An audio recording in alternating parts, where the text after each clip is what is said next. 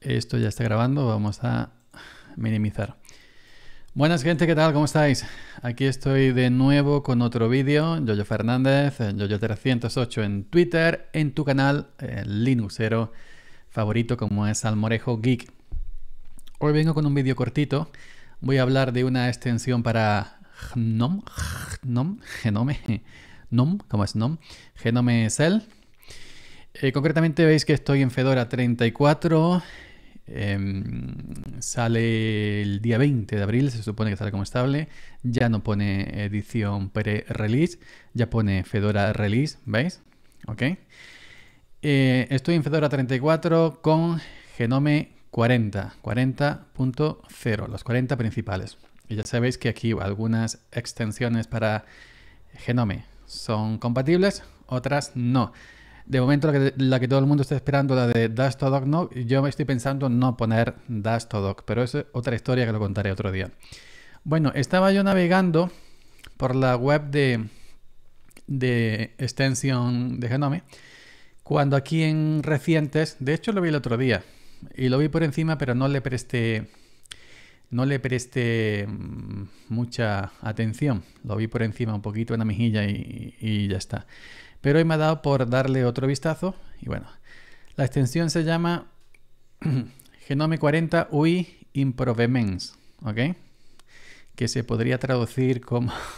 Yo la acabo de instalar, ¿veis? La acabo de instalar. Simplemente eh, cuando tú quieres instalar una extensión, la acabo de instalar, pero está desactivada, ¿no? Pues para que veáis. Cuando tú quieres instalar una extensión de web simplemente es, eh, no sé, vamos a, a entrar a esta mismo y este botoncito ponerlo en on. Es decir, darle a clic aquí donde pone off para deslizarlo hacia la derecha y ya se instala. Te sale un mensajito flotante. ¿Quieres? Sí.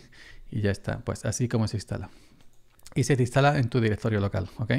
Bueno, eh, pues yo estaba viendo esta que se llama em, Genome 40 UI Improvements, que se podría traducir como eso, prácticamente. Vamos a traducirla y ya está, ¿no? Con el traductor este. Con Google Translator. Leñe con la mierda de las cookies y todo otro. Vamos a ver. Si ya nos espiáis de otra forma distinta, aunque aceptemos lo que aceptemos. No lo sabéis ya, canalla. Google. Bueno, se podría em, traducir como mejoras en la interfaz de usuario de Genome 40. Y aquí en lo que hace en los cambios que voy a, realizar. Antes de nada, antes de nada, eso sí decir que yo recomiendo no instalar extensiones a lo loco. A lo loco, a lo loco, a lo loco, a lo loco se vive mejor, como decía canción. No, no instalar extensiones a lo loco, solo extensiones a lo loco, solo aquellas que realmente veamos que tienen una utilidad para nosotros y que, bueno, la vamos a usar y ya está. Pero no vayamos, esta, la otra, la de Pepito, la de Funganito, no. Vamos a, a ser un poco conscientes, ¿no? Dice por aquí los cambios que, esconde el, texto de búsqueda, este que sale aquí que pone escribir para buscar, el cuadro de búsqueda, em, que escala los espacios de trabajo, las miniaturas que hay los espacios de trabajo para hacerla un poco más grandes, dos por más grandes, y que restaura los fondos de pantalla, los espacios de trabajo, las miniaturas, para que se vean fondo de pantalla en las, miniaturas de los espacios de trabajo que no se vea el fondo gris, que más o menos eh, ajusta la interfaz usuario para que sea más útil. Cambios. El cuadro de texto de búsqueda está oculto de forma predeterminada y se muestra solo cuando el usuario comienza a escribir para buscar. ¿Ok? Así que bueno, si yo muevo el puntero del ratón arriba a la izquierda para actividades, se me pone este leña esta de mosaico, como se llama, que no me acuerdo ahora cómo se llama, y veis que sale aquí cuadro buscar y yo ya aquí ya puedo buscar con la K, por ejemplo, pues me sale todo lo que tenga acá, ¿ok? Eh, eso, esta intención, esta intención, esta extensión lo escondería y lo activaría cuando nos pongamos a escribir algo para buscar simplemente, lo vamos a ver. Eh, escala de eh, miniaturas de los espacios de trabajo, si la aumenta un 2 por. Aquí vemos que las miniaturas son pequeñitas. Ahora cuando abramos otro, otro espacio de trabajo, otro escritorio virtual y veamos aquí arriba los cuadritos también. ¿Y qué más dice? Eh, restaura el fondo de pantalla de la miniatura de los espacios de trabajo para que no tenga un fondo gris aquí arriba, ¿no? En, los cuadritos. Bueno, para ver Ahora estamos viendo con la extensión desactivada, como sería Genome Cell normal y corriente, hijo temeroso de Dios, Genome 40, sin, sin esta extensión activada. ¿Veis? Bueno, pues veis el tamaño de miniaturas. Vamos a, echar esto para un, un, segundo de esto, ¿ok? Y vamos a echar, no sé, este también aquí, ¿ok? Y ahora vamos a poner otro, la tienda la vamos a poner en un tercero, ¿ok? Bueno. Aquí veis, aquí veis que eh, los espacios de trabajo, arriba en las miniaturas, el fondo es gris. ¿Veis? El fondo es gris. ¿Veis el tamaño más o menos de cada espacio de trabajo de las miniaturas? El fondo gris, como decía antes el tío de la, extensión. Vámonos aquí el primero. Y entonces lo que voy a hacer yo ahora mismo es em, activar esa extensión. Vamos a meterla aquí mismo. Venga, aquí, en este primero. Voy a activar esta extensión, ¿ok? Vuelvo a repetir. Las miniaturas, fijaros en el tamaño de las miniaturas. Fijaros, aquí tengo 1, 2, 3, 4, 5, 6. Fijaros en el cuadro buscar. Está activado el cuadro buscar. Cuando hacemos en el clic derecho aquí arriba a la izquierda para empezar a buscar cualquier aplicación. Y fijaros arriba los espacios de trabajo abiertos, 1, 2, 3 y 4. El fondo es gris esta, extensión dice que en el fondo nos va a colocar el, el, fondo pantalla que tengamos, ¿no? El fondo pantalla que tengamos, que sería este el, que viene por defecto en, Fedora 34. Entonces vamos a activar la extensión. Yo la tengo instalada, está aquí desactivada como veis. En la aplicación extensiones, la activo, Genome 40 UI Improvements. La activo y ahora lo que voy a hacer es Alt más F2 para recargar eh, la cell, ¿no? Pongo R y le doy entro y reinicia la, de esta, ¿cómo se llama? La, la cell de Genome. Bueno, entonces, bueno, aquí tenemos, vamos a, echar el cursor del ratón hacia izquierda para que se nos abra todo el espacio de trabajo. Y veis que ya no existe, ya no existe el cuadro buscar. Lo primero. Veis, parece efectivamente que las miniaturas Veis aquí arriba, 1, 2, 3 y 4. Las miniaturas son más grandes. El cuadrito aquí, el cuadrito del segundo, el cuadrito del primero. Tan tan son más grandes aquí, sí. Que eran antes, aquí eran muy pequeñitas. Y lo siguiente, veis que los, espacios de trabajo, las miniaturas arriba, espacio de trabajo, tienen todas fondo de pantalla. Queda mejor, mucho mejor, ¿eh? Queda mucho más bonito. ¿Veis que tiene fondo de pantalla esta miniatura? Esta miniatura arriba tiene fondo de pantalla.